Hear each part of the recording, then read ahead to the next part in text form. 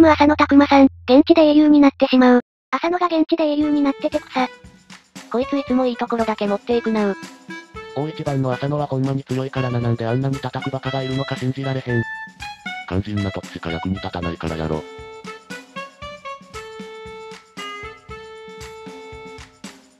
浅野って地味に最近の高校サッカー出身の中では出世した方やな。浅野はくすぐ5点台でシーズン3得点なのはまあ浅野って感じ。